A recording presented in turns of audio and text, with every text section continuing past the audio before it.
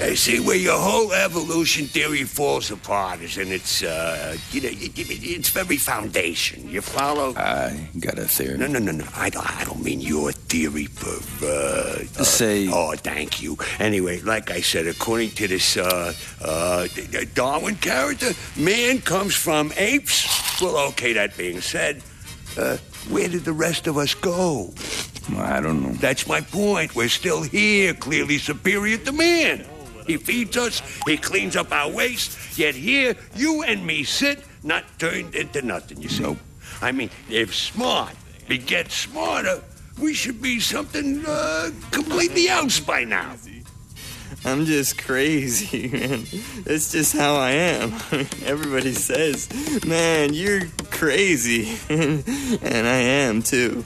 I'm just crazy. I mean, there, there's just no telling what I'll do. I mean, I'm liable to do anything because I'm crazy. Oh, good Lord. How'd you like to be the poor bastard comes to work every morning thinking he comes from those two little heads? We sure dodged a bullet there. You better know it.